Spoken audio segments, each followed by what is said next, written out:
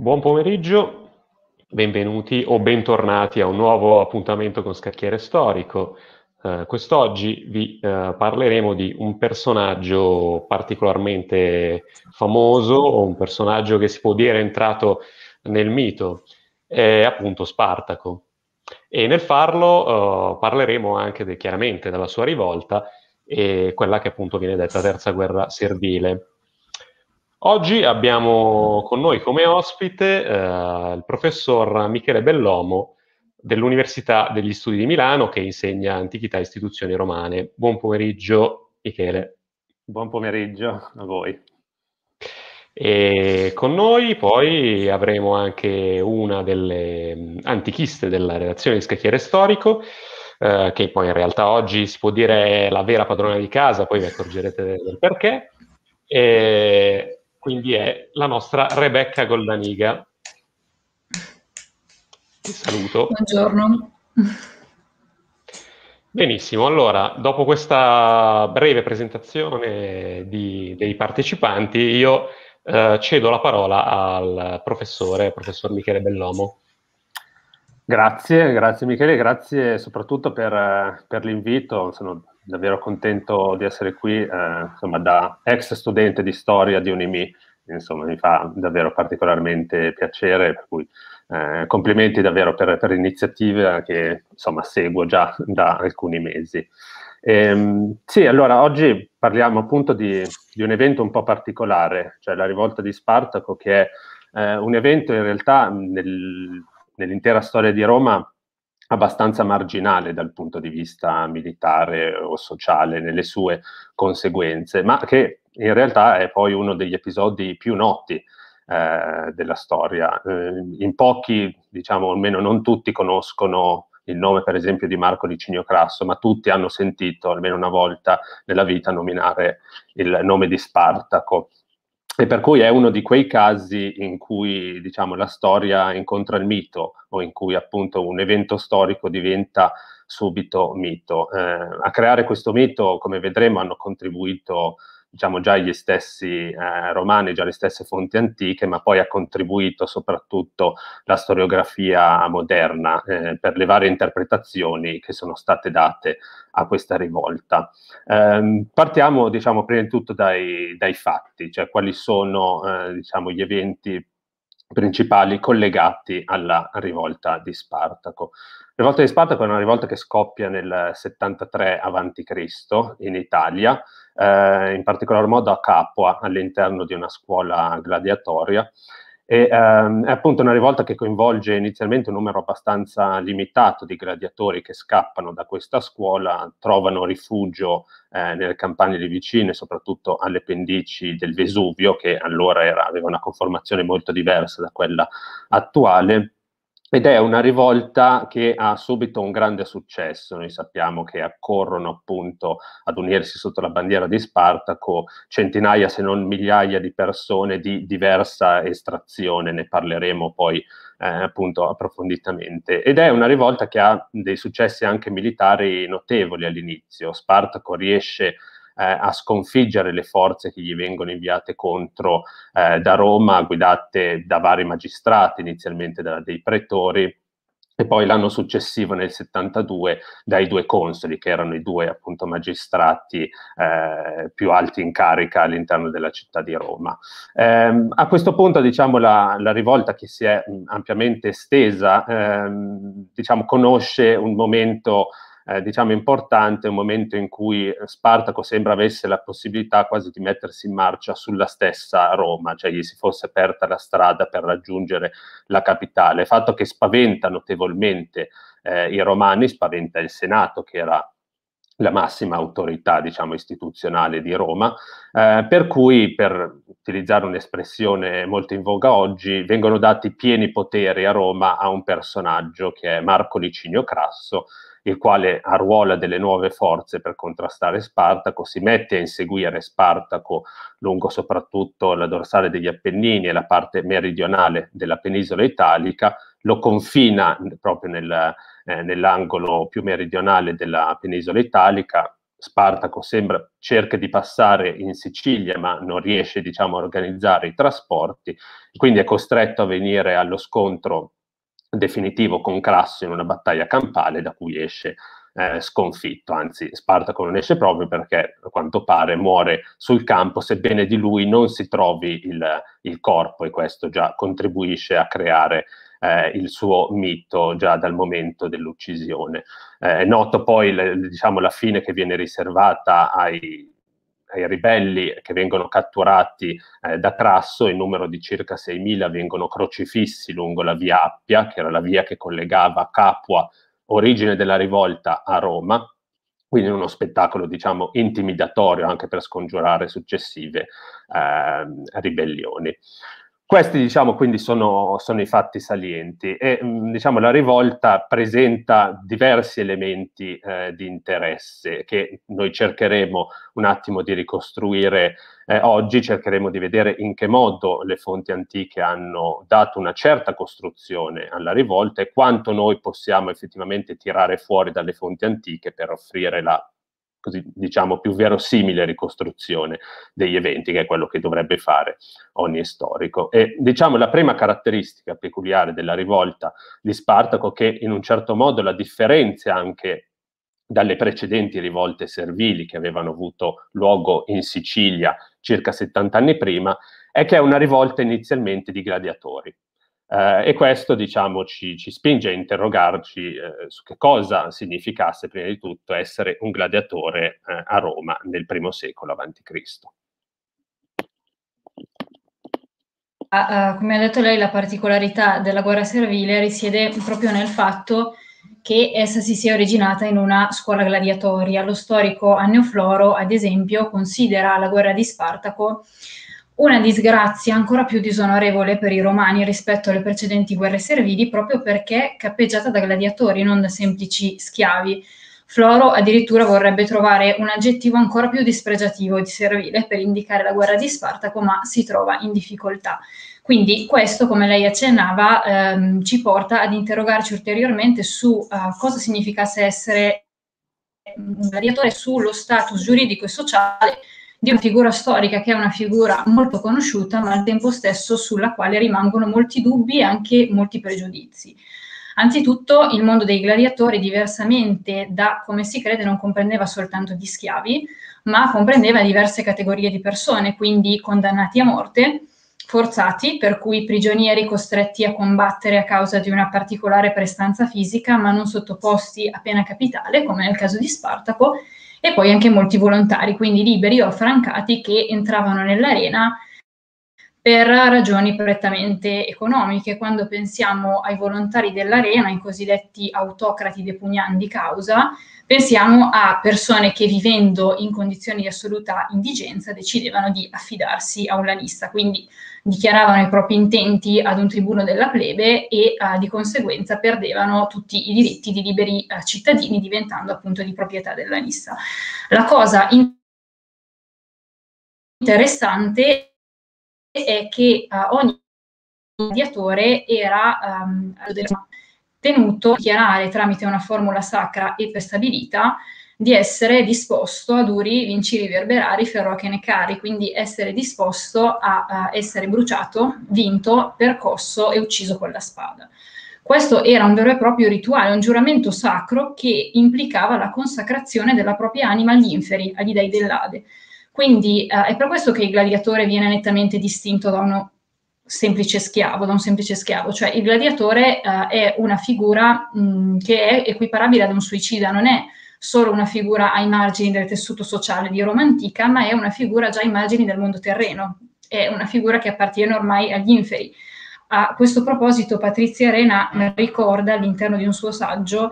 il caso emblematico della cittadina di Sarsina, in cui un privato cittadino addirittura non vuole che i gladiatori vengano sepolti presso un suo terreno donato alla collettività per usi funebri.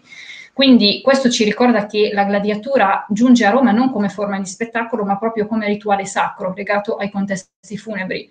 Tertulliano e Virgilio di Servio eh, ci eh, raccontano che anticamente i romani usavano immolare sui sepolcri di uomini illustri schiavi e servi ehm, acquistati per l'occasione che poi iniziano a combattere eh, tra di loro, eh, appunto portando avanti duelli all'ultimo sangue. Ed è significativo il fatto che eh, prima del termine gladiatores a Roma sia in uso il termine bustuari, che per l'appunto significa crematori di salme. Quindi bustuari sono coloro che tramite la lotta permettono ad un defunto di raggiungere l'Ade. Uh, per cui la mia domanda a questo punto è, mm, secondo uh, te è um, possibile che le azioni di Spartaco siano state dettate anche da motivi religiosi, immaginando ad esempio che quest'uomo sia stato costretto a fare giuramento per la scuola di Battiato, magari contro la sua volontà e anche contro il suo credo religioso? Eh, sì, allora è una domanda interessantissima. Ehm è difficile rispondere perché noi dovremmo conoscere, diciamo, nel, nel dettaglio quali erano già le credenze eh, di Spartaco. Um, in realtà noi abbiamo alcuni accenni interessanti nel, nelle fonti, in particolar modo in Plutarco, eh, il quale appunto parla della rivolta di Spartaco in realtà all'interno della,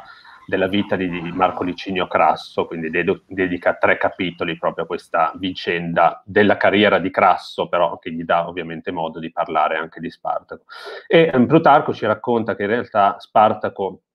nel momento in cui si trovava, eh, il momento della sua vita precedente alla rivolta, in cui si trovava a Roma in attesa di essere venduto, quindi forse come gladiatore, eh, ebbe un sogno eh, in cui la sua eh, faccia veniva avvolta da un, eh, da un, serpente, gli si attorcigliava un serpente intorno alla faccia. E appunto questo sogno fu interpretato, dice Plutarco, dalla sua compagna, cioè dalla donna che appunto lo accompagnava in quel momento, eh, che era anche lei di origine trace eh, come Spartaco, ma era anche una profetessa e eh, diciamo eh, che praticava anche eh, i culti e riti dionisiaci, quale, la quale appunto eh, riconobbe in questo sogno un segno premonitore che avrebbe, eh, diciamo, segnale del favore del dio nei confronti di Spartaco, che gli avrebbe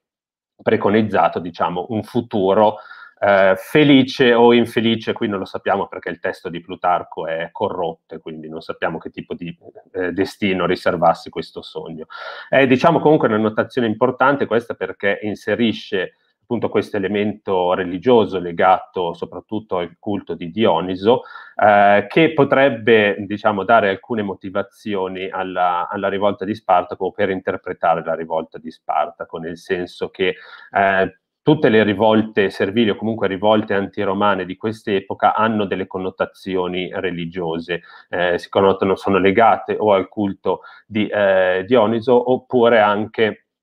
eh, diciamo, ad alcune profezie che circolavano in Oriente, soprattutto che annunciavano in questo periodo l'arrivo di un uomo del destino che avrebbe sconfitto i romani, avrebbe abbattuto la potenza romana. Erano profezie che circolavano già circa da un secolo, ne troviamo un eco, per esempio, nel secondo libro dei Maccabei anche. Per cui è possibile che, diciamo, questa profetessa, questa compagna di Spartaco abbia, diciamo, in un certo modo aizzato lo stesso Spartaco e abbia fatto credere di essere lui, magari quest'uomo uomo del destino chiamato a sconfiggere eh, i romani. Um, un altro aspetto religioso che noi sappiamo legato alla, alla figura di Spartaco è questo sacrificio che lui compì eh, prima dell'ultima battaglia in cui abbatté il suo cavallo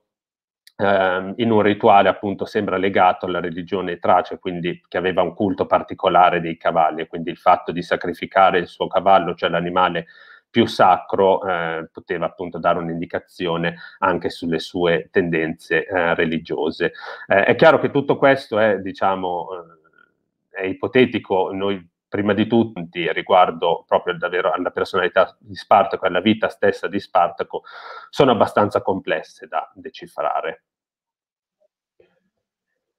Sì, eh, Spartaco è sicuramente un personaggio che è rimasto a lungo nella memoria dei romani. Basta pensare al fatto che viene ancora citato nel digesto giustinianeo, quindi nel VI secolo d.C.,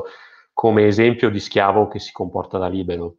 Eh, le fonti che ce ne parlano sono comunque tutte concordi sulla sua vicenda e sulla sua personalità. Plutarco e Appiano probabilmente traggono le loro informazioni da Sallustio e da Posidonio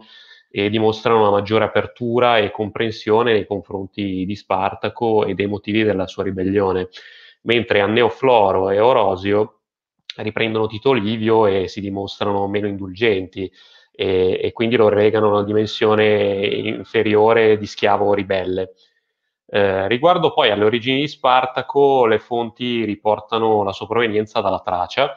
Eh, secondo Plutarco apparteneva alla tribù dei Maidi che era stanziata nei pressi della Macedonia romana e può essere che il suo stesso nome derivasse da una località trace, magari appunto il suo paese d'origine.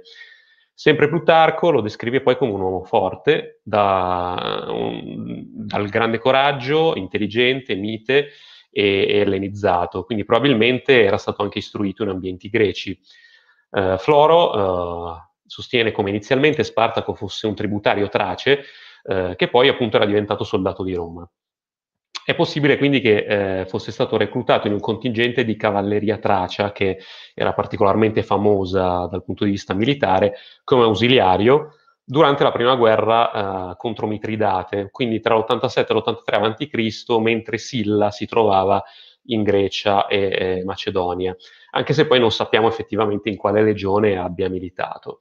Uh, in ogni caso, in questo modo avrebbe appreso le tattiche militari e di addestramento romane che gli sarebbero uh, tornate molto utili successivamente. Uh, Floro comunque ci dice che in seguito Spartaco avrebbe disertato, diventando un bandito o latro, una definizione che viene riportata anche da Cicerone. è possibile però che la sua diserzione fosse giustificata da motivi per così dire patriottici, nel senso che eh, si sarebbe schierato al fianco della sua tribù che era stata attaccata dal governatore della Macedonia, Appio Claudio Pulcro, nel 77-76 a.C., il che appunto ha indotto eh, probabilmente Sallustio, Varrone e poi anche Plutarco successivamente a parlare di Spartaco come di un innocente costretto alla schiavitù e quindi a diventare gladiatore. Uh, perciò appunto alcune fonti gli riconoscono un motivo onorevole per aver disertato, uh, subendo un destino che non meritava.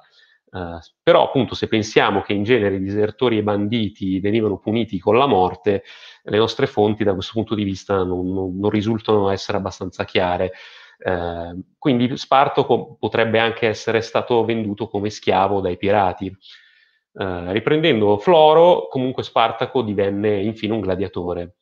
Secondo Plutarco avrebbe intrapreso questa carriera a Capua eh, presso la scuola gladiatoria di Lentulo Bazziato, eh, da cui appunto Spartaco progettò insieme ad altri, eh, si pensa appunto circa 200 persone, la fuga, eh, una cifra che poi si sarebbe ridotta alla fine a 78 persone, anche se non abbiamo certezze da questo punto di vista, dopo che il piano era stato scoperto. Eh, soprattutto però gli viene conferita una posizione di preeminenza, perché se i capi eletti della rivolta effettivamente erano tre, perché gli altri due erano i Galli, Crisso ed Enomao, eh, il primo tra essi era proprio Spartaco. Quindi eh, questa leadership eh, gli viene già, tra l'altro, gli era già stata fermata da Sallustio e, confermata poi anche da altri come Appiano. Ci sono però altre fonti, come ad esempio Livio, e poi appunto le, le fonti che da lui derivano come Floro e Orosio, che suddividono invece il comando alla pari tra i tre capi, quindi riducendo l'importanza di Spartaco.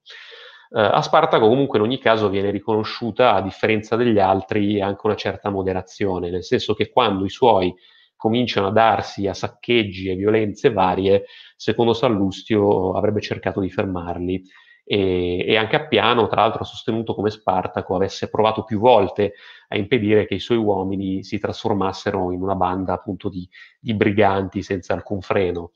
Uh, le fonti, poi in particolare Plutarco, ricordano come nella battaglia finale, eh, quella decisiva, Spartaco avrebbe cercato di battersi direttamente con Crasso uh, e questo probabilmente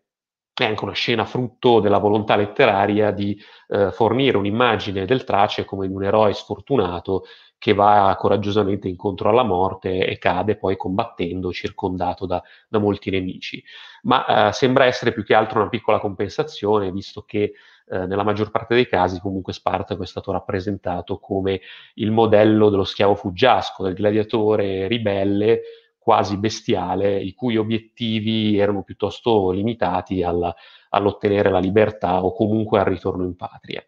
Eh, quindi a questo punto oh, la domanda che io fa, che ti farei è, eh, sulla base di quello che ci dicono le fonti, eh, praticamente nessuna delle quali è coeva, eh, possiamo affermare, mh, al di là poi di quelle che sono le poche informazioni ricostruibili, che la caratterizzazione di Spartaco è in buona parte il frutto di un'operazione letteraria? Cioè Spartaco può essere considerato uno stereotipo, uno degli stereotipi del nemico, rom- del nemico romano, eh, di tutto ciò che è contrario ai valori di Roma e che viene quindi considerato inferiore e per questo non ha la possibilità di, di vincere? Eh, sì, allora, come appunto hai ben evidenziato tu, il, il quadro insomma, delle fonti è estremamente complesso, cioè anche se noi non abbiamo tantissime fonti su Spartak, però quelle che abbiamo ci danno informazioni diverse ed è veramente difficile compiere un percorso lineare al loro interno per ricostruire quello che dovette essere, diciamo, la percezione anche contemporanea eh, di Spartaco. Um, ci sono, diciamo, qui vari, vari problemi. Il primo problema a cui accennava già prima Rebecca è quello della definizione stessa della, della rivolta di Spartaco, cioè se quella rivolta di Spartaco meriti o no il titolo, per esempio, di Bellum, eh, di guerra.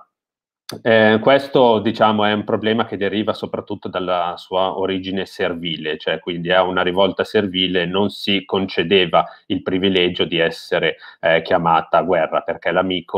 per, il, il, nemico non era per prestigio all'altezza eh, di Roma. Eh, del resto una delle fonti più cronologicamente più vicine che abbiamo, cioè Cesare fa un riferimento indiretto nel, nel debello gallico alla rivolta di Spartaco e parla di tumultus servili, quindi di una sollevazione eh, servile. Um, per cui c'è già questo, questo primo problema che però nasconde un altro grosso problema, eh, da cui accenno solo adesso, poi magari ne parliamo più avanti, e cioè che il fatto di, che dietro la definizione di guerra servile si volesse in un certo modo occultare quello che era stata la rivolta di Spartaco, cioè non solo una rivolta di schiavi, ma che aveva visto anche la partecipazione di liberi cittadini eh, provenienti dalle campagne, cittadini italici o comunque cittadini con già la cittadinanza romana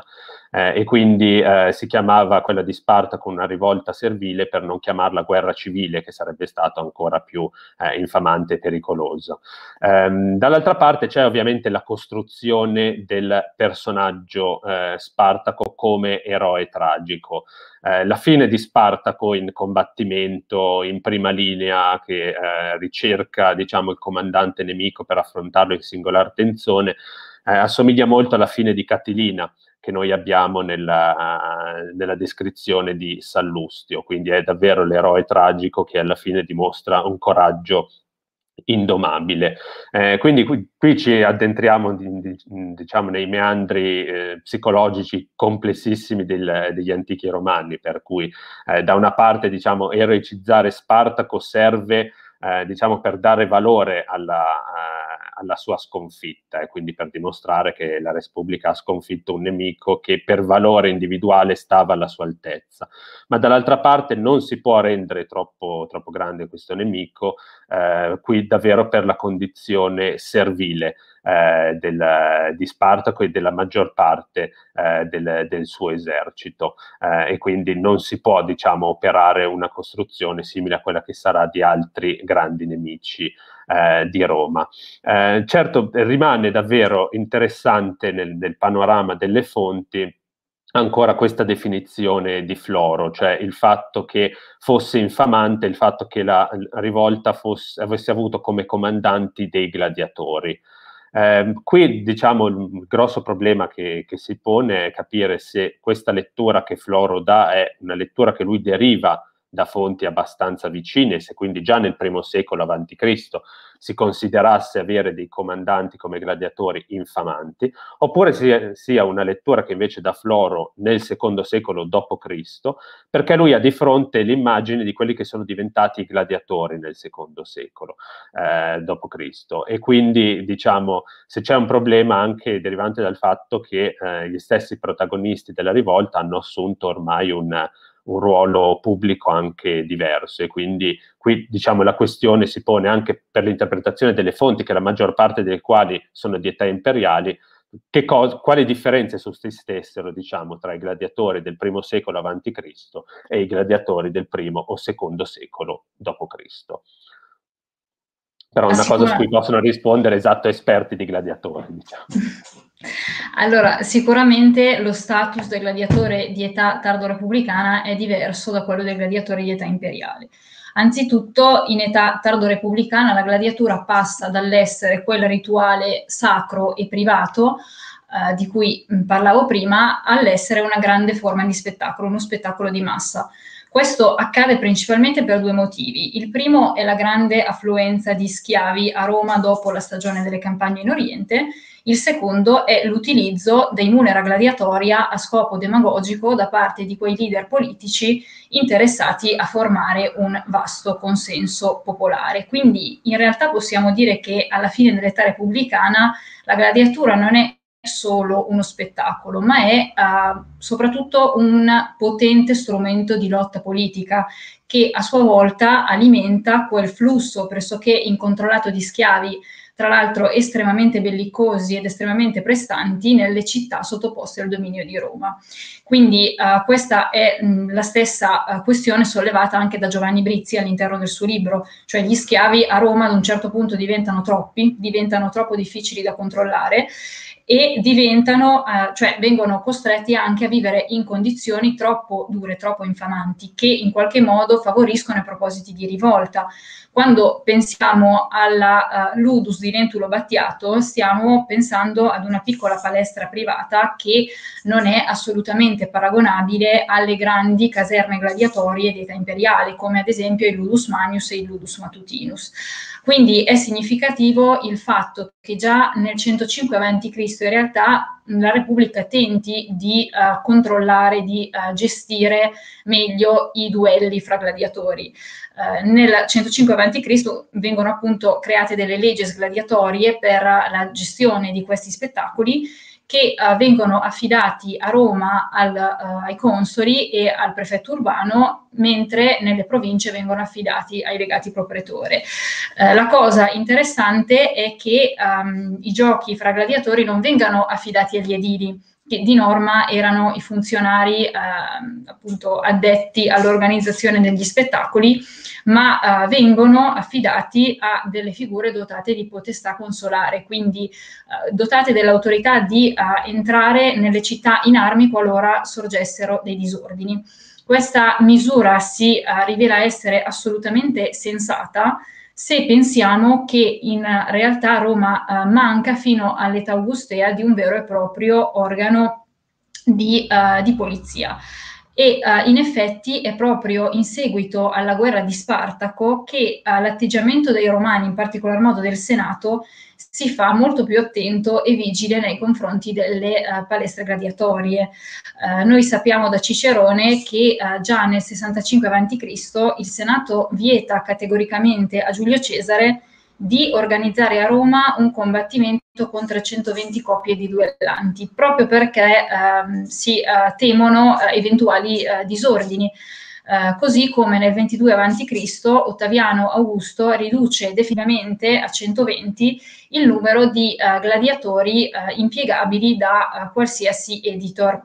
Questa in realtà è una misura che ha una duplice funzione. La prima è appunto quella di evitare tumulti, la seconda è quella di evitare che un qualsiasi senatore particolarmente facoltoso possa eguagliare lo splendore degli spettacoli offerti eh, dallo stesso eh, Augusto. Um, quindi mh, la gladiatura passa gradualmente dalle mani dei privati alle mani eh, dello Stato. I munera gladiatoria in età imperiale diventano prerogativa del principe e si pongono proprio come spettacoli straordinari che si affiancano ai ludi, alle festività ufficiali del calendario e che vengono offerti solo occasionalmente dalla benevolenza dell'imperatore. Al tempo stesso le piccole palestre private cedono il passo ai grandi ludi eh, statali, come eh, i quattro grandi ludi eh, presenti nell'attuale zona del Colosseo e istituiti in età Flavia, e um, addirittura i romani creano una palestra gladiatoria in ogni capitale di provincia, in modo da creare una rete capillare e fitta per il controllo e il reclutamento dei gladiatori. Uh, vengono create delle procuraterie ad hoc per la gestione di queste palestre, di norma affidate a uh, personaggi di, uh, di rango equestre. Uh, quindi detto questo, mh, torno a uh, fare una domanda al nostro ospite e a questo punto del dibattito chiedo come si estende la rivolta e quali obiettivi uh, ha. Sì, allora c'è un passaggio importante in quello che, che, tu hai appena detto, cioè il fatto che nella Roma repubblicana non vi fosse un corpo di polizia eh, ben organizzato a Roma e non c'era soprattutto nelle, eh, nelle campagne delle città minori. Eh, quindi questo favoriva diciamo, già forme di, di, banditismo che avevano larghissima diffusione in ampia parte della penisola. E quindi questo crea diciamo, un terreno fertilissimo per eh, l'espansione della, della rivolta. Um, come dicevo tra l'altro in apertura, appunto la rivolta conosce un grandissimo successo sin da subito. Noi sappiamo davvero che centinaia, se non migliaia di persone si unirono a eh, questa rivolta. Um, e appunto vi parteciparono non solo eh, uomini di origine servile, ma almeno in base a quello che ci dice Appiano, anche degli uomini liberi che venivano dalle campagne. Um, qui si pone, eh, diciamo, un, un problema eh, anche per quanto riguarda davvero la composizione sociale e, diciamo, la, varie cooperazioni eh, tra i vari strati sociali eh, diciamo del, degli abitanti soprattutto delle campagne in queste rivolte servili. È un problema che si pone già per le rivolte servili in Sicilia, quindi rivolte che partono da schiavi e poi trovano oppure no il sostegno dei liberi cittadini che abitano nelle campagne e nelle città soprattutto. Eh, questo poi è un problema grosso che riguarda anche l'interpretazione delle rivolte servili come rivolte di classe eh, e quindi se si possa effettivamente o meno parlare eh, dell'esistenza di questo sostegno di classi eh, diverse. Um, è difficile ovviamente rispondere a questa domanda, um, dobbiamo cercare più o meno di capire qual era la, la composizione sociale delle campagne dell'Italia nel primo secolo a.C. Uh, dunque in queste campagne uh, sussistevano diverse realtà, diciamo che il, eh, le campagne erano state popolate per lunghissimo tempo nei, nei, secoli precedenti da piccole e medie proprietà contadine, eh, principalmente lavorate da cittadini di condizione libera.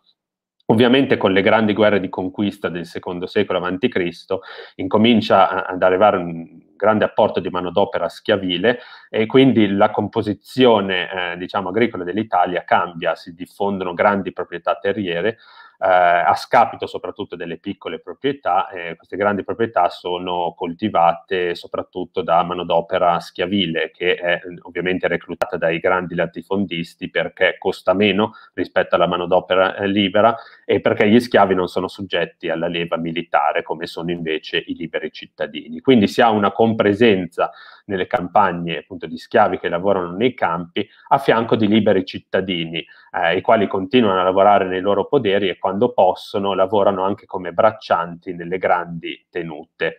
Um, ovviamente le tenute di, di questi piccoli eh, proprietari terrieri sono soggette alle azioni di banditismo proprio perché non c'è un corpo di polizia e i banditi sono anche loro degli schiavi, sono i cosiddetti pastores, cioè eh, uomini che venivano reclutati appunto per eh, soprattutto sovrintendere alla transumanza eh, delle mandrie o delle greggi e che quindi operano in grande autonomia, sono spesso armati eh, e i quali ovviamente compiono razzie e saccheggi nei confronti anche del, dei contadini, spesso con il beneplacito dei grandi eh, proprietari di coloro che li avevano ehm, assoldati. Eh, quindi diciamo, noi possiamo immaginare che eh, la rivolta di Spartaco, che si estende prima di tutto agli schiavi che lavorano nelle campagne e poi a questi pastori, che noi sappiamo Spartaco reclutò proprio perché erano schiavi già armati e già abituati a difendersi, quindi particolarmente prestanti, possiamo immaginare che non raccogliesse grande consenso tra i piccoli eh, e medi proprietari terrieri liberi, eh, perché questo avrebbe voluto dire unirsi a coloro che compivano razzie nei confronti dei loro campi fino ai giorni prima. e soprattutto non c'è un grande sostegno di questa rivolta da parte eh, dei liberi o anche degli schiavi che abitano nelle città. Questo è un grande problema che incontra Spartaco, cioè che le città dell'Italia, di cui lui vorrebbe il sostegno per dare diciamo, una base più concreta alla sua rivolta, non lo appoggiano, gli chiudono le porte eh, in faccia, lui spesso è costretto a saccheggiare alcune di queste eh, città. Um, questo interesse di Spartaco per le città si collega diciamo, alla seconda parte della tua domanda, cioè gli obiettivi di questa rivolta. Eh, anche qui le fonti si dividono, eh, le fonti inizialmente parlano di un progetto di Spartaco di abbandonare l'Italia e di ritornare nei paesi di origine dei vari schiavi che componevano la sua eh, rivolta, quindi in Tracia ma anche in Gallia e in Germania. A un certo punto però nel 72 dopo aver sconfitto i due consoli in carica, sembra appunto che Spartaco avesse cambiato progetto strategico, e cioè che avesse deciso di dare una organizzazione diciamo, eh, più precisa al suo esercito e di mettersi in marcia su Roma, quindi sfidare direttamente il potere di Roma in Italia. E qui si pone un altro grande problema, cioè dei modelli che Spartaco aveva di fronte, perché eh, chiaramente questo intento di sollevare l'Italia e di mettersi in marcia su Roma eh, fa venire in mente subito un altro grande nemico di Roma, cioè Annibale. Sì, eh, effettivamente come, come, tu hai detto fino adesso, la rivolta di Spartaco eh, ha infiammato buona parte dell'Italia per, per quasi tre anni e, e, quindi le sue vicende militari ricordano effettivamente in parte la seconda guerra punica che venne combattuta prevalentemente sul suolo italico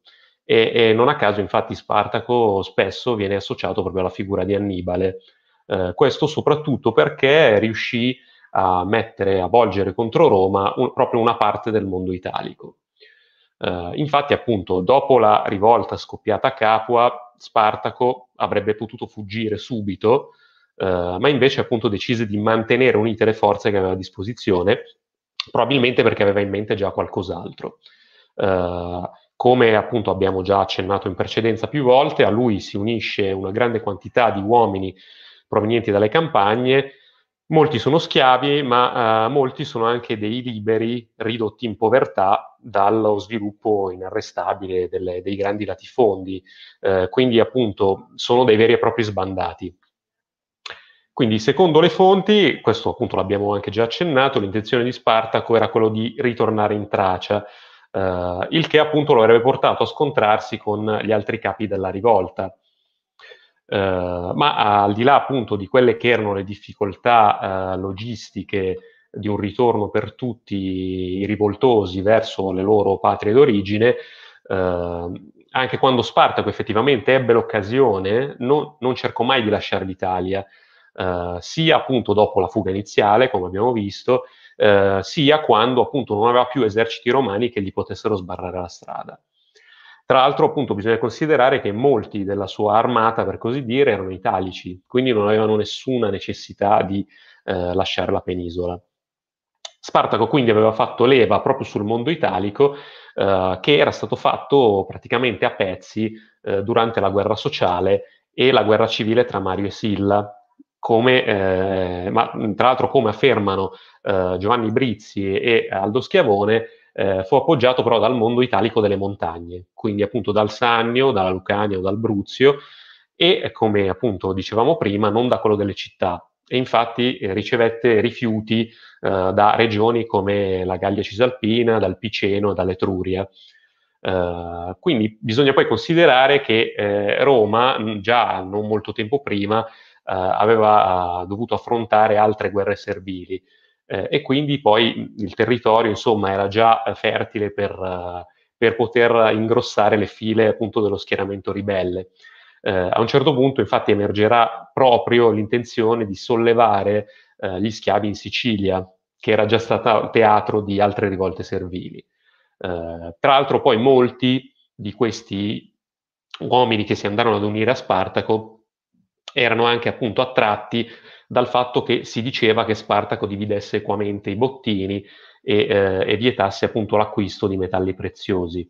eh, come Annibale, quindi insomma era diventato il simbolo dell'opposizione al dominio romano e, e di quella che appunto era la sua aristocrazia, eh, per tutti coloro che tra l'altro erano anche ansiosi di prendersi delle rivincite. E, e probabilmente appunto, come abbiamo già visto prima, lui stesso forse si era convinto eh, di un destino mistico, di essere legato appunto a un destino mistico che eh, lo avrebbe portato appunto a far cadere Roma. Uh, tra l'altro, appunto, bisogna ricordare come, come, proprio come Annibale, Spartaco fosse un, un, comandante capace. Ci sono alcuni esempi che vengono riportati dalle fonti di episodi uh, in cui lui adotta degli stratagemmi piuttosto ingegnosi per uh, fuoriuscire da situazioni un po' complicate, per esempio quella in cui quando è accampato con gli altri ribelli sul, sul Vesuvio riesce a evitare a girare il blocco del, delle truppe romane, eh, costruendo, realizzando delle, delle, scale con i tralci di vite e calandosi quindi dall'altra parte, poi attaccando di sorpresa, oppure eh, in un'altra situazione riesce a sganciarsi dalle truppe romane che sono praticamente accampate eh, a, a, non, a, non, molti metri di distanza dal suo accampamento, eh, riesce appunto a sganciarsi lasciando l'accampamento di notte in assoluto silenzio e mettendo delle, delle, sentinelle che poi in realtà sono dei cadaveri legati a dei pali e un trombettiere che eh, manda dei segnali a un esercito che in realtà non c'è più. Uh, quindi insomma, eh, anche in questo senso, come dicevo, Spartaco ha delle capacità che possono essere in un certo senso uh, ricollegate a quelle di Annibale. Eh, se però appunto Annibale comandava un vero esercito, eh, quello di Spartaco non lo era in effetti, ma avrebbe anche potuto diventarlo con il tempo. Eh, tra l'altro appunto lui stesso non si considerava più eh, il comandante di un'armata nomade di, di, sbandati, ma il comandante di un esercito vero e proprio. Uh, infatti non accoglieva più tra i suoi uomini, comunque non accoglieva i, tra i suoi uomini disertori e, eh, e, provò anche a trattare con Crasso, uh, il che significa dialogare da una posizione di parità, cercando quindi di essere legittimato, di ottenere la legittimazione del proprio status. Uh, tra l'altro, appunto, secondo Appiano, come dicevamo prima, eh, come Annibale l'obiettivo di Spartaco era diventato quello di, eh, di prendere Roma, eh, cercando appunto di completare proprio l'opera del comandante cartaginese. Eh, ma come aveva fatto Annibale, alla fine rinunciò ad attaccarla. Eh, Annibale, infatti, non potendo prendere Roma, aveva atteso invano che, che, questa appunto si arrendesse e alla fine è la stessa situazione che poi in un certo senso eh, nella quale si è ritrovato Spartaco, eh, proprio perché come dicevamo prima Spartaco non aveva ottenuto l'appoggio di nessuna città. C'è anche da dire comunque che eh, la sua sconfitta alla fine appunto ehm, nonostante appunto la sua sconfitta la rivolta abbia rappresentato l'atto finale per, per, il mondo italico per raggiungere uh, l'integrazione definitiva che fino a quel momento comunque era stata uh, costantemente ostacolata nonostante anche uh, la guerra sociale. Quindi a questo punto la mia domanda è, ma effettivamente Spartaco era a conoscenza delle vicende della guerra annibalica? Cioè potrebbe effettivamente essersi ispirato a tutto quello che era successo eh, durante quella guerra per guidare la sua rivolta. Quindi, Spart- eh, scusa, quindi Annibale era un modello per Spartaco? Um, è possibile, allora, um, diciamo che Spartaco conoscesse uh, la vicenda di Annibale a, a grandi linee, uh, così, è, è, possibile perché appunto Annibale è un altro di quei personaggi che uh, insomma, diventa subito mito, le cui gesta, insomma, che avevano attraversato tre continenti, possiamo pensare eh, davvero avessero avuto un, un, eco, una risonanza incredibile al di fuori insomma, dei circoli prettamente romani. Quindi possiamo pensare che Spartaco fosse venuto a conoscenza di questa vicenda, se non già in traccia, quando aveva servito nell'esercito a Roma o a Capua magari. Capua era stata una delle città che più convintamente avevano sostenuto Annibale durante la seconda guerra punica, quindi quella che poteva mantenere anche una memoria più, eh, più solida più salda del, di quella che era stata la guerra eh, annibalica. Eh, diciamo che poi ehm, questa sovrapposizione Spartaco-Annibale ehm, potrebbe essere nata già in, eh, in, contemporanea con la stessa rivolta, cioè che già qualcuno a Roma avesse azzardato questo accostamento. Eh, del resto Annibale diventa sin dal, dalla fine della seconda guerra punica termine di paragone immediato e, e obbligato ogni qualvolta c'è una minaccia diretta alla sicurezza eh, di Roma, quindi già proprio l'anno successivo alla conclusione della seconda guerra punica, nel momento in cui i romani scatenano una guerra contro il regno di Macedonia, il cui sovrano è Filippo V, Filippo V viene presentato come un possibile nuovo Annibale, cioè si spinge il popolo a dichiarare la guerra e a combattere in Grecia proprio con la paura che se no Filippo V sarebbe giunto in Italia a minacciare direttamente Roma. Quindi ogni volta che si presenta un nemico eh, alle porte, eh, quel nemico è Annibale, quindi non è neanche da escludere che eh, appunto questo richiamo ad Annibale fosse servito per esempio allo stesso Crasso per farsi conferire questi pieni poteri nella guerra contro, contro Spartaco. Eh, quindi sicuramente costituisce un modello su entrambi i fronti eh, Annibale. Diciamo che eh, per la nostra indagine eh, diciamo storica è interessante vedere come i due personaggi siano accomunati eh, insomma dallo stesso eh, infelice esito, cioè che abbiano compiuto le, le stesse scelte sbagliate. Cioè per entrambi si pone questo problema eh, del perché non abbiano deciso di marciare direttamente eh, su Roma eh, che poteva essere magari la soluzione effettivamente ideale per sbloccare il, uh, il, conflitto. E diciamo che entrambi probabilmente avevano effettuato una non corretta valutazione delle, delle forze in campo, cioè entrambi probabilmente si aspettavano che in seguito a una serie di sconfitte o i romani decidessero di eh, arrendersi oppure che l'Italia effettivamente si sollevasse contro Roma. Eh, questo non avviene in entrambe le occasioni per eh, ragioni diverse ma simili a un certo punto, eh, cioè diverse perché ovviamente il contesto storico è diverso, ma simili proprio per l'estraneità dei due personaggi. Eh, cioè nel 216 è vero, ci sono diverse città che passano ad Annibale dopo la sconfitta di Canne, ma gran parte del mondo latino rimane fedele a Roma perché Annibale è un cartaginese eh, I romani vent'anni prima avevano combattuto una guerra ventennale contro i cartaginesi, quindi coloro che controllano le città latine sono o coloro che hanno combattuto quest- durante la prima guerra punica o i cui padri avevano combattuto in questa guerra, quindi diventa diciamo inaccettabile allearsi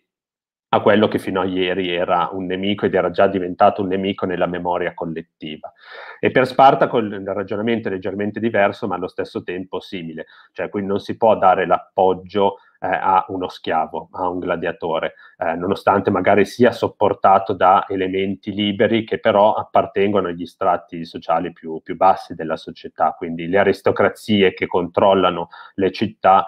non hanno interesse ad unirsi eh, a Spartaco proprio perché per l'estraneità del, del, personaggio e della stessa composizione della sua rivolta. Quindi diciamo eh, questo accostamento Spartaco-Annibale trova efficacia davvero nel triste destino che li ha accomunati. Eh, un'altra cosa che hanno in comune è sicuramente poi le, il mito che si crea intorno a loro. Già il fatto di aver minacciato direttamente poi la città di Roma fa sì che tanto Annibale quanto soprattutto Spartaco diventino eh, nella letteratura e nel cinema davvero degli esempi che non conoscono tramonto. Ecco. Sì, la vicenda di Spartaco è mh, sicuramente una vicenda ricca di fascino che continua a suscitare grande interesse anche eh, nei secoli a venire. Tuttavia, questo l'ha esposta ha molte reinterpretazioni e anche manipolazioni in chiave uh, ideologica dettate dalla cultura, dalla, uh, dalla politica uh, dei tempi. Ad esempio, mh, noi sappiamo che Spartaco diventa un mito già alla fine del Settecento in relazione all'illuminismo, quindi molti storici e filosofi francesi, ma anche italiani, celebrano la guerra di Spartaco ponendola in relazione non solo alla rivoluzione francese, ma anche al dibattito sullo schiavismo moderno e sul colonialismo. Quindi agli albori del romanticismo eh, la ehm, figura di Spartaco è già una figura mitica. Eh, lo stesso gladiatore si pone come un martire della libertà che eh, combatte contro una potenza dispotica e tirannica. Pensiamo ad esempio alla scultura di Vincenzo Vela che risale al 1848. Eh, in questo caso Spartaco diventa addirittura espressione del desiderio di rivalsa dei patrioti eh, lombardi nei confronti dei dominatori austriaci. Persino Karl Marx nel 1861, cadendo in un grande e celebre anacronismo, parlerà di Spartaco come dell'espressione più autentica dell'antico proletariato. Quindi questo ci fa capire come il mito del gladiatore, proprio come simbolo di riscatto politico e sociale, passi senza difficoltà eh, dalla cultura risorgimentale a quella socialista. Questo stesso simbolo viene poi ripreso anche dal cinema eh, degli anni 50, dal cinema eh, Peplum di produzione americana. Quindi in questo caso non possiamo non pensare alla pellicola di Stanley Kubrick, il cui protagonista, Kirk Douglas, è eh, mancato solo lo scorso anno. Uh, dunque, secondo uno studioso di uh, public history come Andrea Giardina, i peplum degli anni 50 uh, sarebbero proprio basati su romanzi scritti a cavallo fra 8 e 900, quindi intrisi di quella cultura romantica di cui parlavo prima, e basati su uno schema narrativo molto preciso, una tensione fra un eroe giudeo cristiano comunque convertito e un despota romano. Nel film di Kubrick eh, Spartaco rimane ufficialmente un pagano, però la cinepresa lo dipinge eh, molto bene allo stesso modo di un martire cristiano, questo appare evidente nella scena della crocifissione dei ribelli. Quello che però dobbiamo chiederci è perché negli anni 50 eh, gli americani maturano un così grande interesse per l'antica Roma perché a seguito della vittoria degli Stati Uniti dopo la seconda guerra mondiale gli antichi romani si pongono come dei perfetti nazisti, dei perfetti fascisti. Quindi il cinema peplum in realtà diventa un mezzo per celebrare eh, gli Stati Uniti proprio come potenza democratica e liberatrice che ha liberato l'Europa dai totalitarismi del Novecento. Questo uh, emerge anche uh, da altre pellicole, peplum come ad esempio Ben Hur di William Wyler o Quo Vadis di Mervyn Leroy. Uh, per cui a questo punto la mia domanda è la seguente, secondo te questo tipo di pellicole che peraltro sono grandi capolavori della storia del cinema, Uh, ha contribuito in qualche modo a formare un'idea tuttora diffusa e anche distorta della civiltà romana proprio come di civiltà crudele, dispotica e tirannica. Eh, sì, direi in parte, in parte sì. Ehm, giustissimo, tra l'altro, il, il, riferimento che hai fatto anche diciamo, alla cultura e alla strumentalizzazione fascista che era stata fatta della, della, storia antica e allo stesso tempo anche l'adesione di buona parte del, del mondo accademico antichista al, al fascismo, quindi questo ha provocato poi eh, diciamo, gravi danni sull'immagine eh, del, della storia antica e della storia romana all'interno diciamo, anche del panorama eh, degli studi. Ehm, è chiaro che diciamo, questi, ehm, soprattutto i cinema peplum e così, hanno creato delle, una serie di immagini eh, distorte di Roma, penso tra tante anche all'immagine diciamo, abbastanza monolitica che si ha dell'esercito romano. E dei soldati romani come eh, soldati assolutamente spietati, brutali, eh, che si ravvedono solo quando incontrano appunto la, la cristianità, quindi come si vede in, in Ben Hur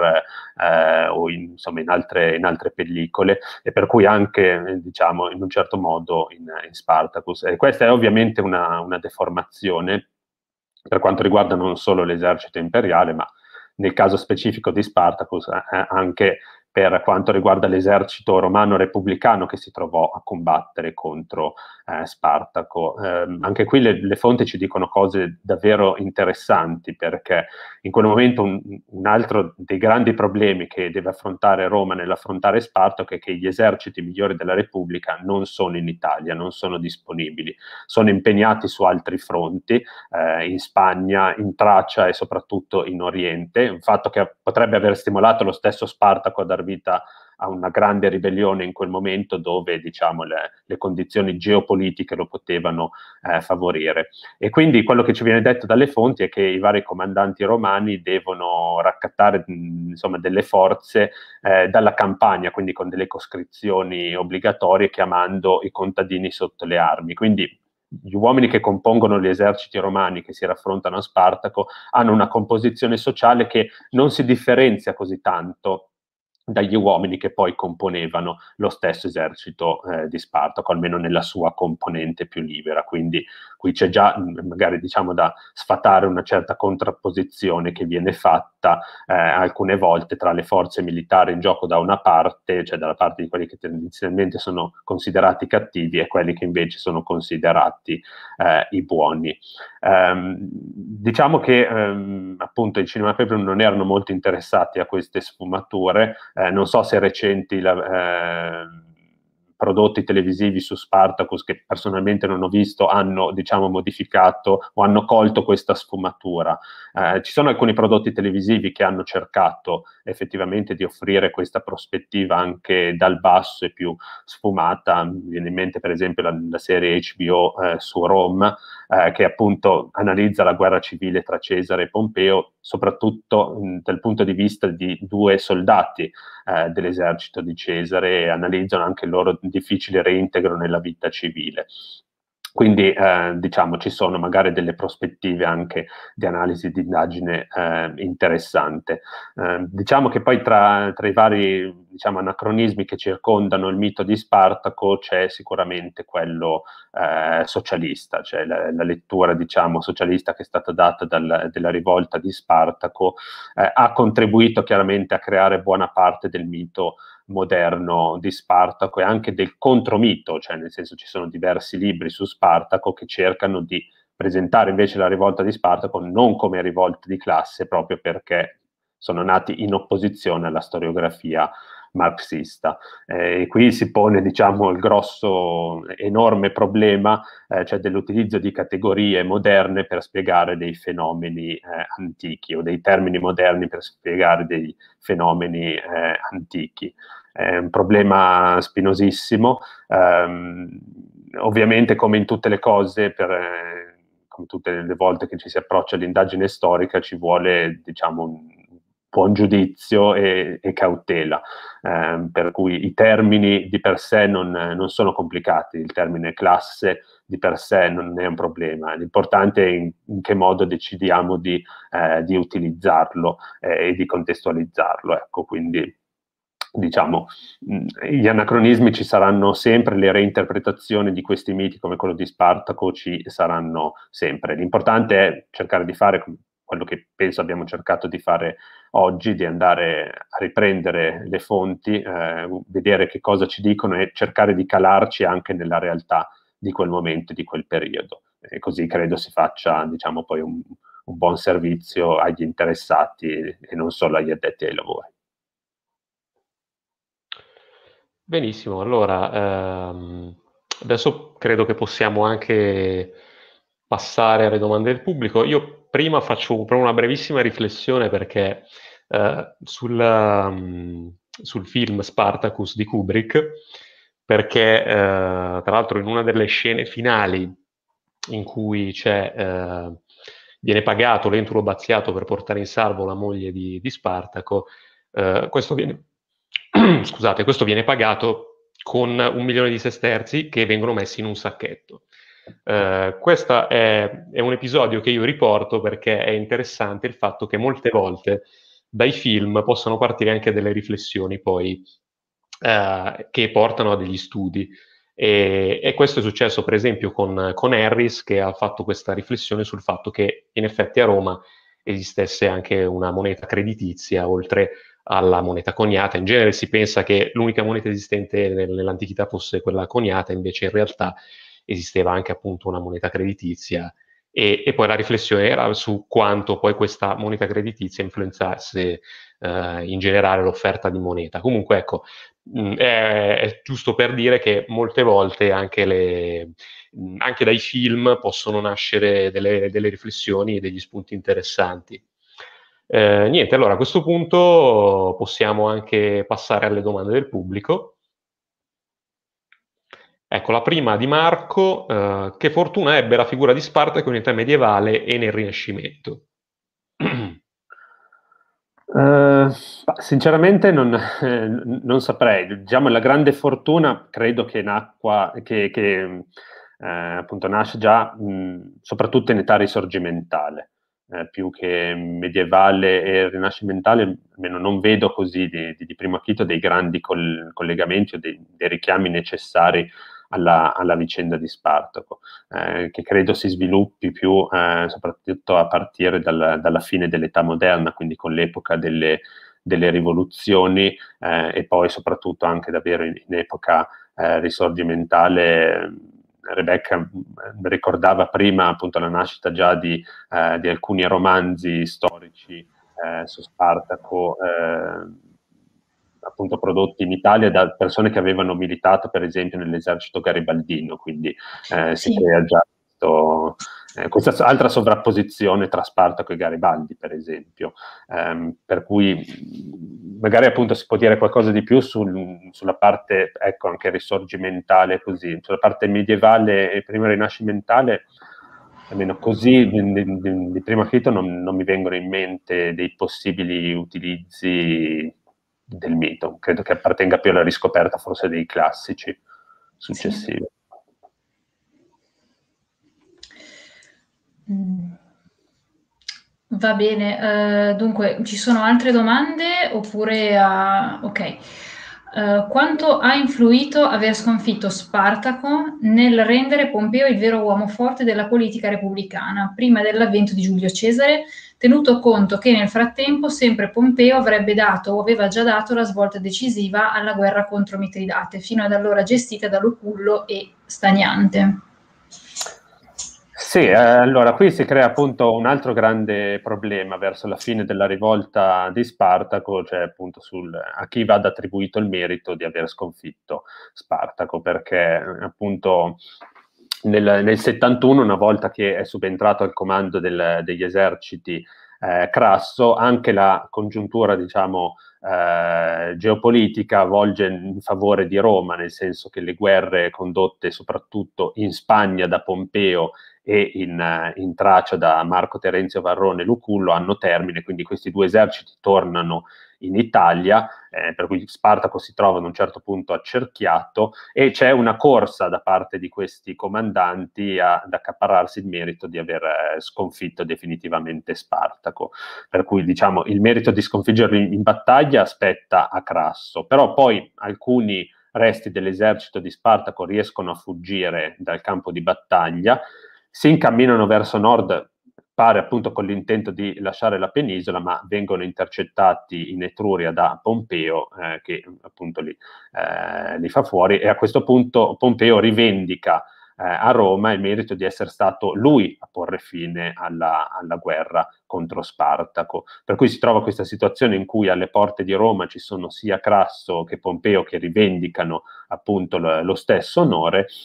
alla fine come finisce? Finisce che i due si mettono d'accordo eh, per essere eletti insieme consoli eh, per l'anno successivo, nel, nel, 70, quindi alla fine raccolgono entrambi diciamo, il merito di aver posto fine eh, alla rivolta. Um, è chiaro che eh, diciamo, in questo caso io vedo nel, nell'azione di Pompeo eh, il tentativo di impedire un eccessivo rafforzamento di Crasso eh, quindi privare un poco della gloria eh, di Crasso eh, appunto per ribadire la propria preeminenza politica. Eh, quindi serve più che ad aumentare la gloria personale di Pompeo a evitare che quella di Crasso diventasse troppo, troppo grande. Poi eh, Pompeo, che già era un personaggio, diciamo, un trampolino di lancio, riuscirà poi negli anni successivi, soprattutto grazie alle guerre in Oriente contro Mitridate, che appunto sono successive alla rivolta di Spartaco, a eh, diciamo, rafforzare ulteriormente la sua, la sua posizione. Però sì, quando ci poniamo nell'ottica romana dobbiamo sempre ragionare nell'ottica anche di queste competizioni tra i vari comandanti eh, che agivano anche in base ai propri tornaconti. Va bene, allora passiamo alla prossima domanda. Ecco, c'è questa domanda di Davide che, alla quale forse abbiamo già un po' risposto. Comunque eh, lui appunto ricorda come Spartaco sia eh, stato da sempre fonte di ispirazione per organizzazioni rivoluzionarie come ad esempio la Lega di Spartaco tedesca del 1918. Eh, quindi, eh, ma effettivamente si può dire che Spartaco eh, avesse un piano, un vero e proprio piano di cambiamento rivoluzionario del mondo in cui viveva? Allora, questo le, le, fonti non ce lo dicono. Eh, nelle fonti non, eh, non, compare mai Spartaco come eh, personaggio che avrebbe voluto abolire la schiavitù. Ehm, quindi questo noi non, non, lo possiamo affermare basandoci sulle fonti che abbiamo, ma è allo stesso tempo inverosimile che avesse eh, in mente una, una, rivoluzione sociale di questa portata, proprio perché il mondo mediterraneo era un mondo eh, in cui la schiavitù era pienamente accettata e non viene mai posta in dubbio come fondamento eh, economico e sociale. Quindi ehm, questo non toglie ovviamente che, eh, che Spartaco e gli schiavi che lo seguivano volessero ottenere la libertà eh, no, anzi la loro era una lotta per, per, la libertà, per migliorare le proprie condizioni. Eh, però non credo che ci fosse questo, questo progetto appunto allora di liberare gli schiavi eh, di tutta l'Italia o di tutto eh, il mondo conosciuto. Ecco, questo no, è diciamo poi appartiene già al mito di Spartaco e quindi ehm, è, è, diciamo una convinzione che è nata nel momento in cui invece eh, personaggi che appartengono al mondo moderno contemporaneo, che si sono invece battuti per questi ideali, sono stati additati positivamente o negativamente come dei nuovi Spartaci. Ecco, quindi credo che questo si possa dire.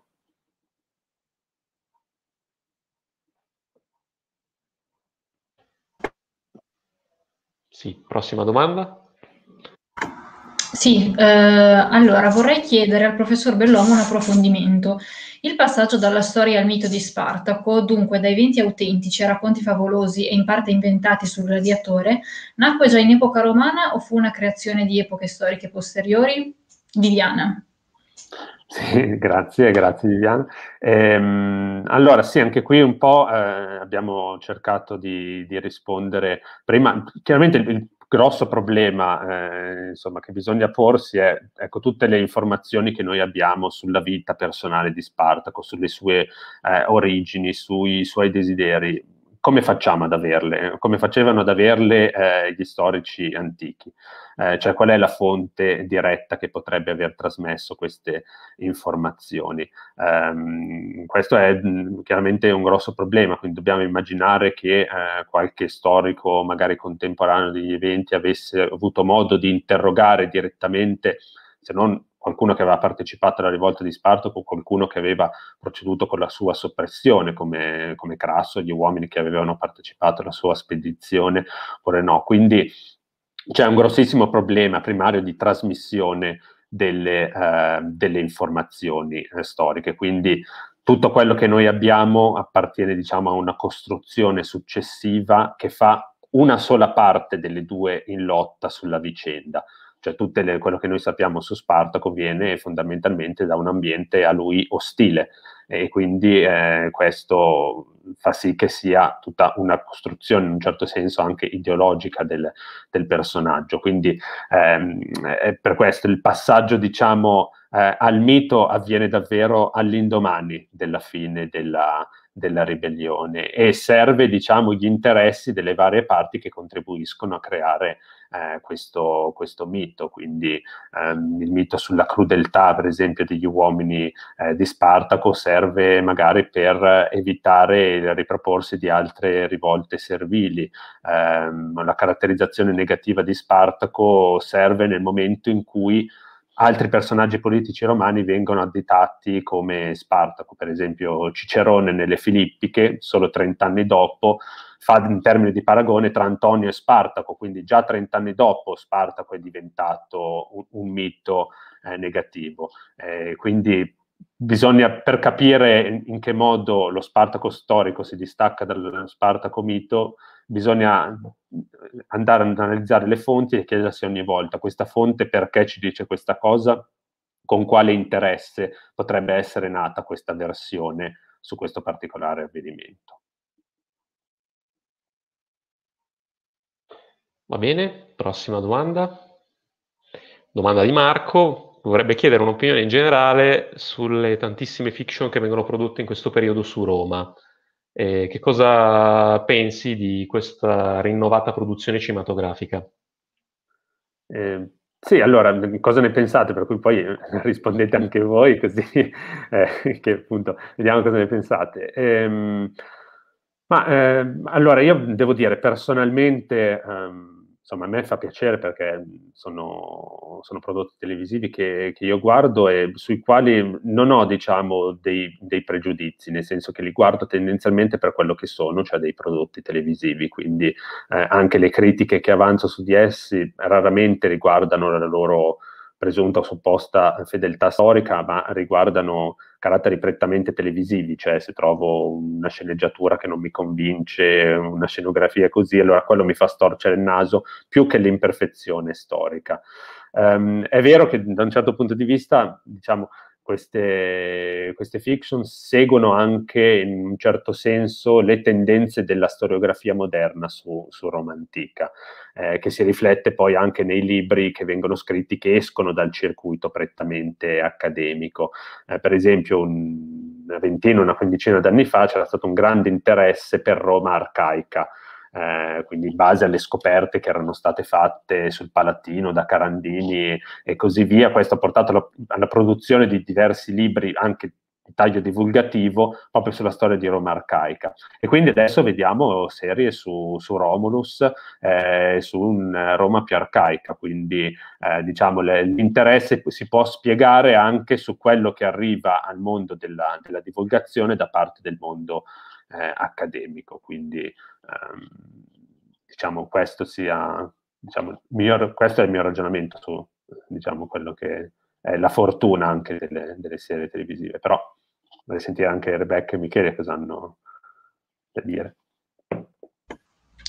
Sì, allora, mh, dunque, secondo me eh, l'impianto narrativo tipico del cinema Peplum rimane nei film sull'antica Roma almeno fino al 2000, quindi con il gladiatore di Ridley Scott, no? questa battaglia fra l'eroe eh, e uh, fra l'eroe che vabbè non è cristiano in questo caso, però comunque il gladiatore e il despota romano c'è e uh, c'è in modo molto forte, no? Uh, per quanto riguarda eh, invece la tendenza degli ultimi film che sono stati fatti sull'antica Roma, eh, diciamo che, come eh, ricordava il professore, c'è un interesse più marcato per quella che è la Roma arcaica, lo vediamo ad esempio nel primo re di Matteo Rovere, no? Cioè l'idea non è più quella di uh, appunto coinvolgere lo spettatore in un uh, mondo uh, mitico, no? Nel mondo della, dell'antica Roma, dell'antica Roma dei fasti, ma è quello di provocare una sorta di effetto di straniamento. Questo è quello che noi vediamo nel momento in cui guardiamo il primo re. il primo re è completamente parlato in, in latino arcaico, no? quindi ci troviamo veramente catapultati in una Roma che non riconosciamo e uh, quindi abbiamo uh, un film che si impone un po' sulla stessa linea mh, di quelle uh, pellicole iperrealistiche come quelle di Mel Gibson, quindi come Apocalipto o ad esempio La Passione. Lascio la parola a Michele. Sì, eh, no, allora anch'io sono dell'idea che comunque sono prodotti che vanno giudicati per quello che sono, cioè non sono documentari, quindi sono film o serie televisive, per cui anche se ci sono magari delle inesattezze, ci si può anche passare sopra, eh. Eh, basta che non siano cose totalmente assurde, ecco, che poi magari finiscono per uh, diventare controproducenti, però per il resto credo che in realtà mh, forse allora i film che venivano prodotti negli anni 50, anni 60, quindi Peplum, fossero chiaramente figli della loro epoca e quindi di quello che era il periodo. Uh, probabilmente forse erano più originali rispetto magari ad altri film che sono stati prodotti più di recente, nel senso che alcuni, almeno io ho l'impressione che finiscano un po' per cercare di non dico di imitare quel tipo di film, ma insomma provano un attimino a, a, ecco, a, a riprendere magari determinati tipi di narrazione. Mm, però comunque ecco, sicuramente film come Il Gladiatore ha, hanno ridato vita a questo genere di, di, di, film perché per un po' effettivamente ormai non erano più stati prodotti e, e quindi alla fine ben venga. Cioè, è comunque un modo per, per, ridare, per rimettere un po' sulla bocca delle persone l'antichità, ecco. Eh, ecco, allora magari passiamo a qualche altra domanda del pubblico. Ah, ecco, c'è la domanda di Loreto, che tra l'altro ci scusiamo, forse la, si era persa nel traffico dei commenti. Eh, comunque, ecco, allora ci chiede riguardo la mitizzazione della figura di Spartaco uh, nel, nel, mondo moderno e, e, quanto in particolare abbia avuto successo in movimenti con ispirazione proletario socialista o di sinistra, oppure anche di destra. Uh, sì, ehm, allora, appunto lì, diciamo, la, la fortuna o sfortuna di Spartaco è stata quella di essere citato da Marx. Eh, nella lettera che ricordava appunto prima Rebecca, che in realtà è, cioè, nel senso, è una lettera privata che Marx scrive a Engels in, in una sera d'inverno mentre è di fronte al caminetto a leggere a piano. Eh, quindi è diciamo una lettera veramente privata e Marx dice semplicemente ad Engels guarda sto leggendo le storie di Appiano in greco eh, perché appunto Marx leggeva direttamente il greco eh, e appunto sto leggendo dice che Appiano è prima di tutto uno storico molto attento alle cause materiali e quindi questo gli, gli piace. Eh, e appunto sto leggendo la vicenda di Spartaco, eh, lui appunto è uno ragazzo in gamba, dice, eh, ver- grande generale, non un Garibaldi, eh, è vero rappresentante del, dell'antico proletariato. Fine. Poi parla, parla d'altro. Su questa riga di Marx eh, poi si è scatenato un dibattito nella storiografia moderna. Eh, a questo hanno contribuito prima di tutto gli storici marxisti e soprattutto gli storici di area sovietica, che quindi anche influenzati dagli accenni su Spartaco che comparivano in alcuni discorsi pubblici di Lenin o di Stalin, in cui Spartaco veniva individuato come personaggio che appunto aveva creato una grande sollevazione eh, servile, quindi di classe, eh, contro i padroni. Eh, quindi da lì è nata diciamo, una storiografia anche di stampo eh, marxista, ehm, a cui poi è nata in opposizione una storiografia anti-marxista che ha cercato invece di togliere eh, diciamo, la, il paragone e quindi di eh, togliere diciamo, questa interpretazione classista della rivolta eh, di Spartaco. Quindi sì, ha avuto chiaramente grande successo. Ehm, non solo storiografico ma poi anche politico, come dimostrato dalla, dalla nascita della Lega, di, Spar- della Lega di Spartaco in Germania, eh, però è diciamo un successo davvero che è eh, nato da una riga di una lettera privata scritta da Marx a Engels. Il problema qui riguarda l'utilizzo che si, fa, che si è fatto spesso di Marx, anche di, eh, di frasi insomma, di Marx estrapolate magari dal, dal contesto e, insomma, Marx poi era uno che eh, era il primo a dire che insomma, le cose che lui scriveva, che aveva scritto anni addietro, erano cose che magari non avrebbe riscritto, per cui diciamo eh, il problema è, è, stato questo, il problema del successo è stato determinato semplicemente da questo, da essere stato eh, citato da Marx.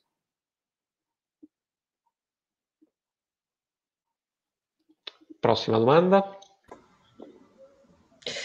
Per quale motivo all'apice della rivolta non ha attaccato Roma direttamente? Allora, ehm, questo è un, grande, è un grande, problema, diciamo, c'erano varie, ci potevano essere state varie ragioni eh, strategiche militari che sconsigliavano di farlo. Prima di tutto che Spartaco non avesse magari un esercito eh, attrezzato per assediare una città come Roma, che era una città ben difesa, perché era una città difesa da mura possenti e quindi sarebbe stato difficile assediare e conquistare. C'era poi la paura, nel, insomma, nel caso in cui si fosse deciso per, per un attacco, per un assedio di Roma, di venire a sua volta assediato da forze romane che sarebbero rientrate nella penisola dai vari fronti in cui combattevano. Eh, quindi questi sono magari ragionamenti proprio di carattere militare eh, che potrebbero averlo indotto a non attaccare eh, direttamente Roma. È davvero lo stesso problema che si era posto Annibale eh, più di cento anni prima, eh, quando i suoi generali l'avevano spinto ad attaccare Roma promettendogli eh, diciamo di, eh, di, conquistare il Campidoglio, il Campidoglio nel giro di, di pochi giorni, eh, Annibale si era rifiutato proprio perché probabilmente spaventato dal, eh, dalla grandezza dell'impresa che magari non sentiva eh, alla sua portata. Mm, per cui questa è davvero una costante, cioè Roma è una città, è una preda ambita da tutti quelli che arrivano in Italia, ma che incute sempre timore eh, proprio per, per, la forza eh, che ha. Quindi anche quando verrà presa poi nel 410 dall'Arico, Alarico ci mette due anni di peregrinazione in Italia prima di decidersi di attaccare direttamente Roma ed era una Roma diversa rispetto a quella del primo secolo a.C. Va bene, passiamo alla prossima. Sì, c'è Riccardo che chiede mh, mm, delle, ecco, se delle, se le fonti ci danno delle informazioni relative al numero di schiavi che aderiscono alla rivolta di Spartaco e quanto sono attendibili. Um, sì, allora, um, generalmente le fonti antiche riguardo alle cifre non sono quasi mai attendibili perché forniscono quasi sempre delle cifre gonfiate, estremamente precise e quindi insomma eh, arrotondate spesso e volentieri, per cui vanno sempre trattate in modo estremamente delicato. Eh, le fonti non sono d'accordo, tra l'altro, tra di loro sul, sul numero de- degli schiavi che aderirono alla rivolta, quindi c'è chi parla di eh, qualche migliaio di uomini, qualcuno 30.000, 70.000, fino a più di 100.000 eh, uomini che sarebbero stati gli ordini di Spartaco all'apice del suo eh, successo. Ehm, è davvero un problema che eh, qualunque antichista si trova ad affrontare ogni volta che incontra eh, delle cifre, perché spesso e volentieri sono cifre gonfiate e qui si ritorna davvero al discorso dell'intento, degli intenti storiografici della fonte che presenta queste cifre, cioè come nascono queste cifre, eh, per quale motivo e quindi cifre ingigantite in una fonte ci devono far pensare che quella fonte avesse interesse a ingigantire queste cifre eh, oppure no. Quindi ehm, possiamo sicuramente considerare nell'ordine delle migliaia gli schiavi o i liberi che seguirono Spartaco eh, di più io non mi spingerei a, a fornire insomma, una cifra precisa. Ecco. Va benissimo. Okay. Volevo chiedere, Federico, al professore se le, lenti, uh, se le fonti uh, perdonatemi, confermano un contatto fra Spartaco e Sertorio e in che termini. Eh, magari, magari, scusami, diciamo due parole anche su Sertorio, certo. così tutto il pubblico capisce meglio. Sì, sì, allora, Sertorio era un, un romano ehm, che appunto nel momento in cui scoppia la rivolta di Spartaco si trova in Spagna, aveva dato vita in Spagna a un antistato. Eh, diciamo perché Roma negli anni precedenti alla rivolta di Spartaco aveva conosciuto una guerra civile eh, che aveva opposto diciamo, i seguaci di Mario con i seguaci di Silla, se proprio vogliamo semplificare, eh, aveva vinto la fazione di Silla e eh, Sertorio, Quinto Sertorio, che invece apparteneva ai Mariani, era scappato in Spagna. E qui in Spagna aveva raggruppato tutte le forze non fedeli a Silla, quindi aveva dato vita davvero a un antistato e per cui era stato inviato in Spagna Pompeo eh, già nel 77 per porre fine a questo, a questo antistato. È una guerra lunga che dura fino al 72, quando scoppia la rivolta di Spartaco in realtà mh, la rivolta di, di, Sertorio è ormai quasi al, al, termine, quindi le fonti non ci parlano di un, di un, contatto diretto, quindi non credo che ci sia eh, stato.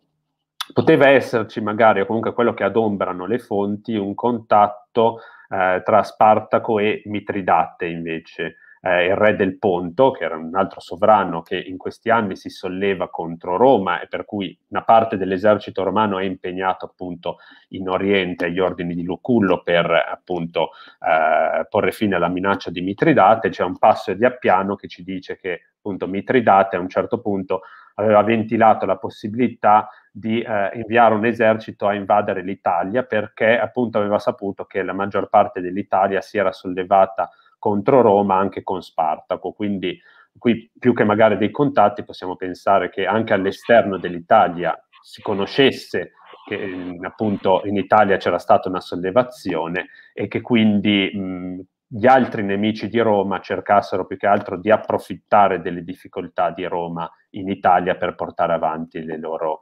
rivendicazioni. Eh, però sì, in contatti diretti Spartaco-Sertorio eh, no, e tra l'altro Sertorio essendo un romano fino al midollo non so se avrebbe accettato di collaborare con uno schiavo. Sì, ecco, mh, a proposito di questo possibile contatto con, con Mitridate, mi viene in mente, ma non potrebbe essere anche questa una sorta di così revival annibalico, nel mm. senso che poi Annibale eh, si era accordato con Filippo V e c'era stata lì la, la, la, cosiddetta prima guerra macedonica durante la seconda guerra punica. Sì, eh, mi viene in mente anche la, eh, diciamo il, il, fatto che poi Annibale, finita la seconda guerra punica, era finito a servire Antioco di Siria e appunto Annibale, mentre era al servizio di Antioco, lo spingeva a invadere l'Italia, appunto promettendogli che l'Italia si sarebbe nuovamente eh, sollevata contro, contro, Roma. Per cui sì, ci potrebbe essere una costruzione eh, storiografica di appiano della sua fonte che nel momento in cui Spartaco è il nuovo Annibale, ripropone diciamo, questo asse tra eh, chi minaccia Roma in Italia e l'Oriente, quella parte dell'Oriente nemica, nemica di Roma, quello senz'altro sì. Benissimo, allora non so se ci sono altre domande da parte del pubblico, uh, se non ci sono, allora niente, a questo punto possiamo possiamo concludere la nostra discussione su, su Spartaco, che credo sia stata molto, molto esauriente, molto interessante e per questo infatti ringrazio Michele Bellomo per essere stato con noi e spero magari voglia ritornare in futuro per parlare di altri, anche di altri argomenti. ringrazio Rebecca che come avete, come avete, visto è la vera esperta di gladiatori Grazie del nostro, del nostro gruppo. E, e, quindi a questo punto io non posso fare altro che salutarvi, darvi appuntamento a uh, sabato prossimo con un altro appuntamento. Uh, vi, vi, dico, vi anticipo solamente che parleremo questa volta di eh, Italia medievale e, e niente, allora a questo punto arrivederci. Arrivederci.